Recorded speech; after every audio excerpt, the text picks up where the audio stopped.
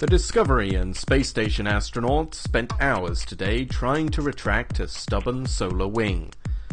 The P6 array was supposed to completely fold up so the recently installed P4 array could freely rotate to track the Sun.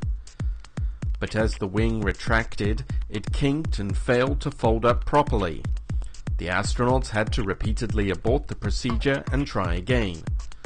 Fortunately, the crews were able to coax it back far enough to give the P4 panel clearance to turn. NASA managers will now have to decide how to deal with the stuck array.